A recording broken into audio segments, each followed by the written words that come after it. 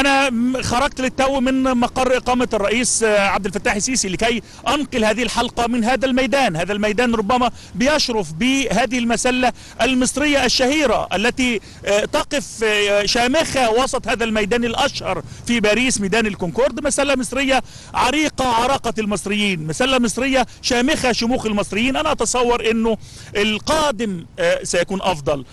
الأفضل لم يأتي بعد من خلال هذه الحوارات ومن خلال الاستماع إلى كثير من الآراء الموجودة داخل مقر إقامة الرئيس الجميع في حاله تفاؤل شديد بهذه الزيارة رغم الأحزان التي جئنا بها من القاهرة من هذا الحادث الغاشم في الواحات إلا أنه الشعب المصري صامد والدولة المصرية ماضية في الحرب على الإرهاب